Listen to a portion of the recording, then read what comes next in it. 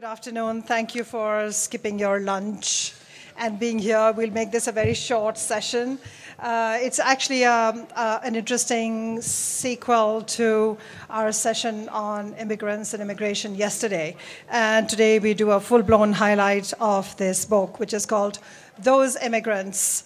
And this is by Dr. Scott Haas, who is a clinical psychologist.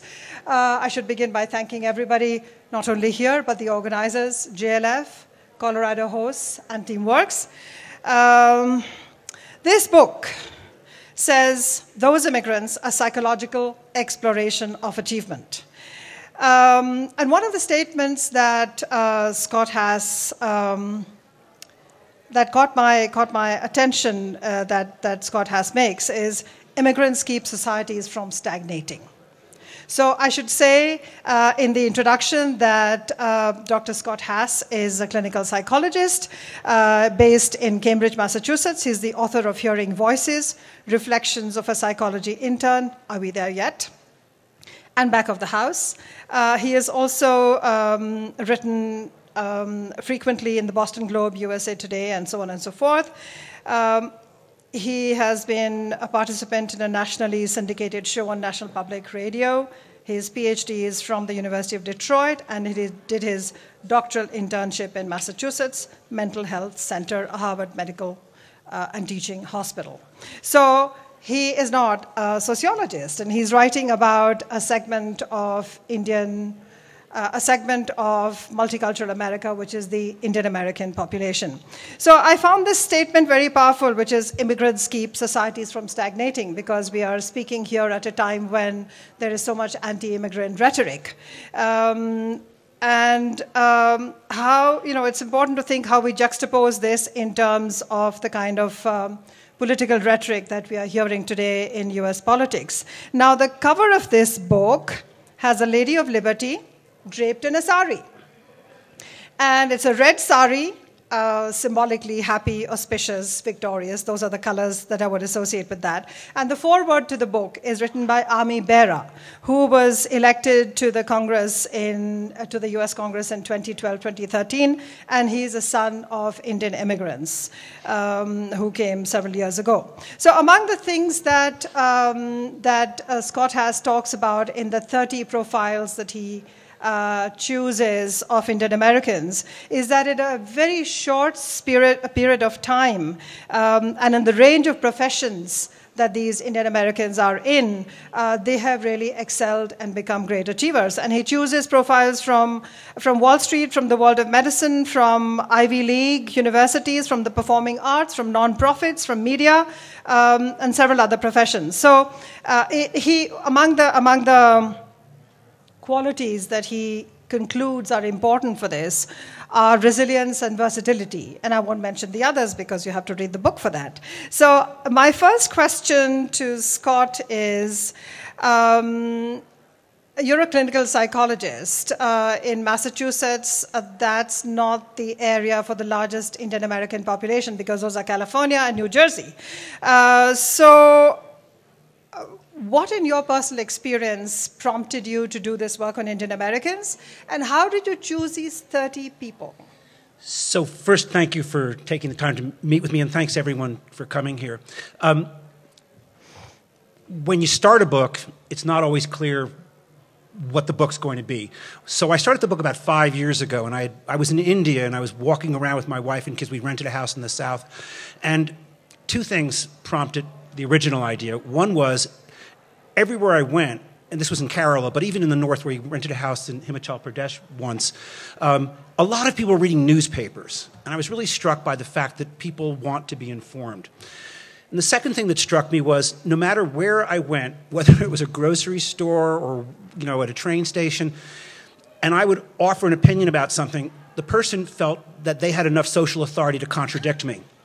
And there were a lot of opinions. And I really welcomed this. I found this fascinating. So, what I wanted to write about was the, the depth of versatility in the population. I work in Boston, where, despite the fact that it's not um, an epicenter, let's say, or a center of Indian life, we have a lot of universities, and I work in a lot of hospitals. And each year, I saw more and more colleagues who were from India.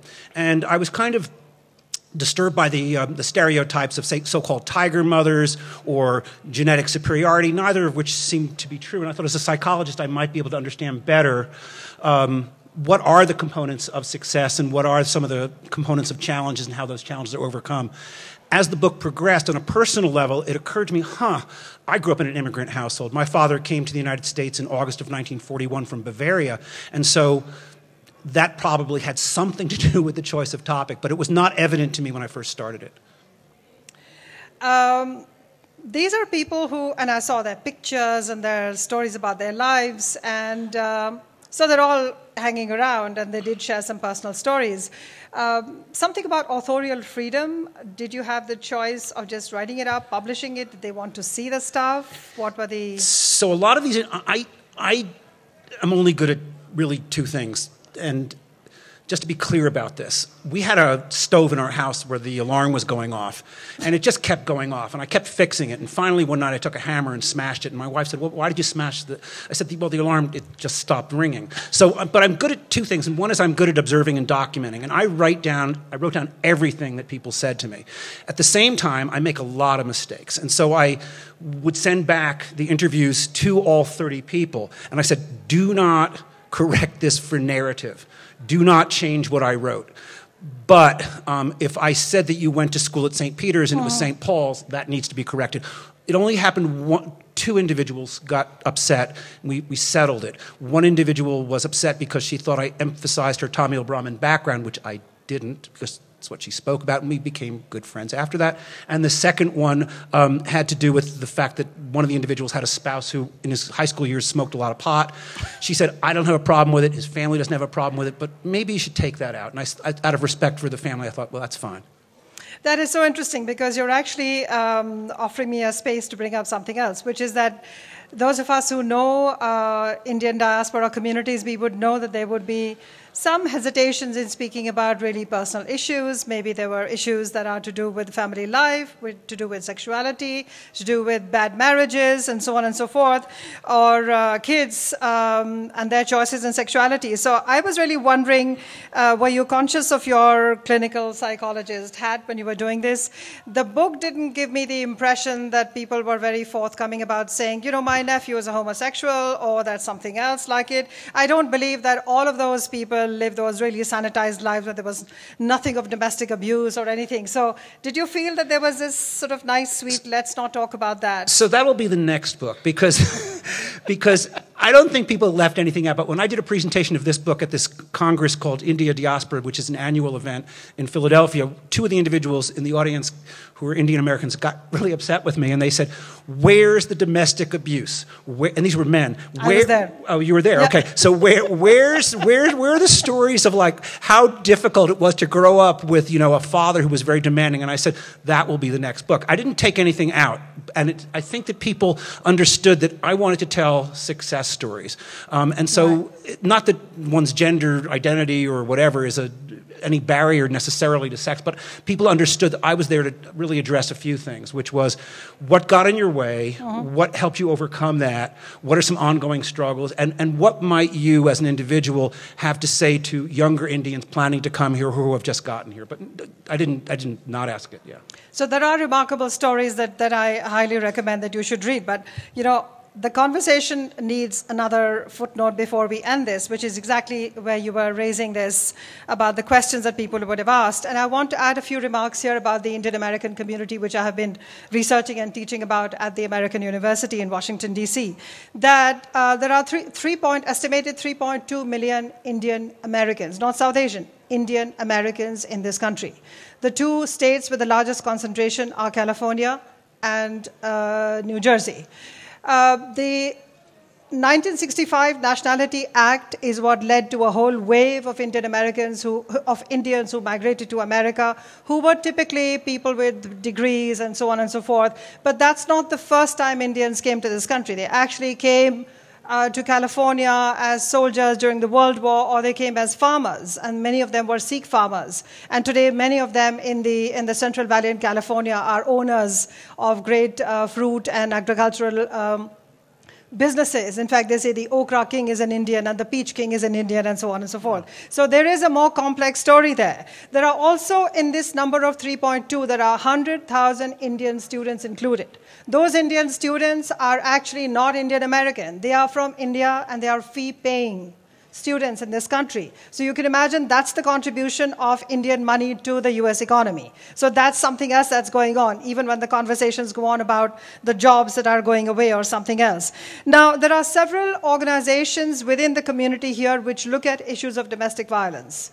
There are issues of sexuality which are coming up and difficult choices that, that people are making to break the news of their sexual choices to their families. And I've had Indian American students who've had long conversations with me about these things. So we know that all of that is going on like in any other community. So while we do have stories here of remarkable success, that is a slice, a wonderful slice Absolutely. of the Indian American community. And we're waiting for a second book that Scott might write or I might write. Perfect. and so there are issues of gender. And, um, you know, I saw a line in, in the foreword, which is done by Ami Bera. And he says, quote, after all, we are the land of opportunity, unquote. Now, this book really chronicles the stories of remarkable Indian Americans, and Ami Bera is talking about that. But he and everybody else in the community knows that are not just remarkable stories and not just stories of remarkable people. That among the statistics is also the fact that among the uh, fastest growing numbers of undocumented people are South Asians. So there are you know, there are, there are people at Harvard and there are people who are medical doctors, but there are also cab drivers. There are also ghettos where people have not been able to get out of their, their, um, their um, economic hardships for a very, very long time. Um, were there any, beyond these, uh, these sort of successes in different fields, are there psychological insights that you might want to just as a passing shot before sure sure sure. and I, one of the things i think that's important to remember and what i wanted to establish is that it's not genetics and it's not tiger mothers. There's some real things that are going on like mentoring. A lot of the individuals i spoke to um, spoke about just their teenage kids finding someone in their 30s and 40s who would say here's how you prepare for an interview. Here's how you exit an interview. Um, there was a lot of talk about um, education being important. But the, the mentoring thing really blew my mind because um, I work a lot in uh, a community in, in Boston, and I'm not from that community, but the mentoring that, that I do and other people do really resonates for people who are teenagers. And I think that's really important. I think all of us, at least I do, know a lot of people in their 20s who are who just don't understand how you can move forward vocationally. And in that, in the, among the individuals I met, that was in, of enormous importance. Thank you. And we have just a few minutes, and I'd be happy to pick up questions here. We have, what, five minutes? Yes. So we can take three questions. We can take them all together so that Scott can answer. Yes, sir. Uh, don't you think uh, the deck is stacked because uh, a lot of the original Imi- Indian immigrants that came to this country came because they got their master's and PhD degrees, and therefore they're going to be successful. Well, okay, let's take it. Let's take two or three. Oh, yeah, I apologize. Together. Sure, sure, sure. So we just make sure just we answer. Remember, yeah. Okay. Yes, ma'am. Sorry, is that okay? Yeah, of course. All right. Did you have any fantasies or expectations that were shattered while writing that? Okay. Uh, one more question? Yes, ma'am. Is there correlation between Indian immigrants as a whole and drug abuse as far as being low and high education? Okay. Do you so, have low drug abuse? So, so I have no idea. And, all right. I don't know. Do you know? Oh, oh, maybe we'll just. All right. So it's absolutely the case that we were blessed in the 60s to f- have um, an effort, or not an effort, the, the, laws changed. And so we were blessed to have the laws um, allow in, in individuals who were highly educated or were pursuing high degrees we were blessed in two ways. One is they, these individuals added an enormous amount to this country. And the second thing is they created an infrastructure, and many people I interviewed spoke about that. There was an infrastructure for them to come here. I'm old enough to remember in the early 70s growing up in Plainfield, New Jersey, where I met the first person I met from India was a person who had been kicked out of Uganda when, they, when Idi Amin kicked out all the uh, South Asians. So, but the Indians who came over in the 80s and 90s didn't have that experience. There were grocery stores, there were there were mosques, there were temples, and there was also a community of accept people. It wasn't that unusual to meet someone from India if you were in, in certain cities. So I think that that helped. I wouldn't say stack the deck, but it, it helped a lot to have that infrastructure. In Boston, we have that with the Irish American community. If you're, if you're Irish and you're coming over to Boston, it, it, it helps to have an Irish American community there that, that helps individuals.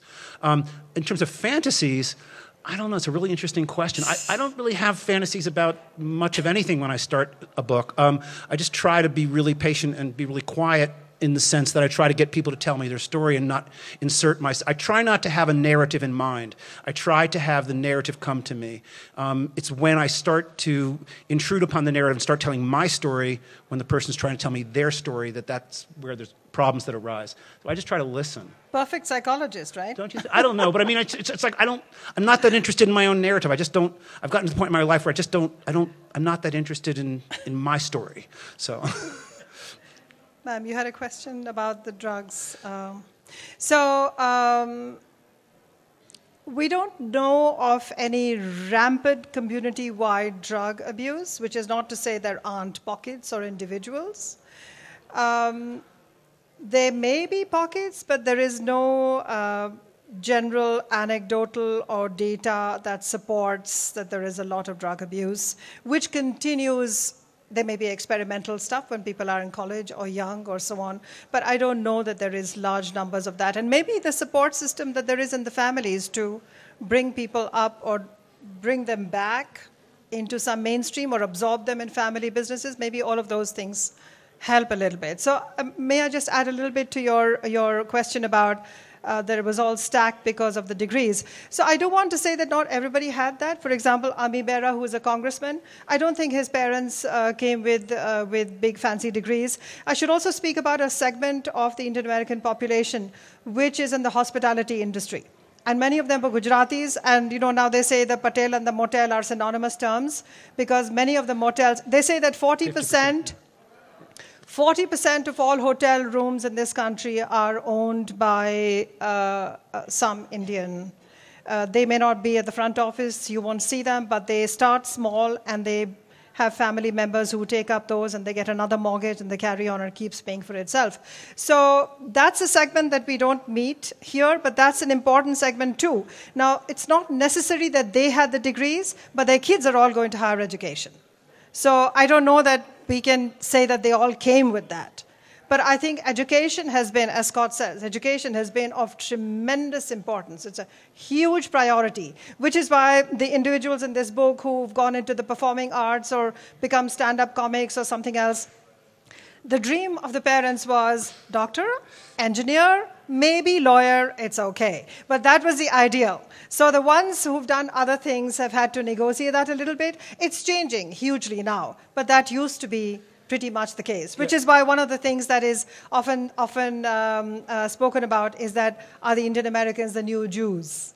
That's one of the one of the sort of. It's funny you mentioned the the performing arts. One of the people I met who grew up in the Gulf. Her father was an engineer, and she went to Berkeley and became a jazz singer. And it was a real fight with the family. I said, Well, how did you convince your dad to let you do that? And she said, I had to do a PowerPoint presentation. So she, so she did it. And, like, and the dad came to the graduation. She showed me these beautiful pictures. I came, I found, you asked about how I found people. There was a, at, in Harvard Square, there's a place called the Beat Hotel. I saw a name look, that looked Indian, and I sent her an email, and she was nice enough to meet with me before the show. And she was just, she was so cool. So it, it, it can happen. So there are lots of young, cool Indian Americans. And on that note, I will say thank you to everyone, and we'll wind up. Thank Thanks you. again.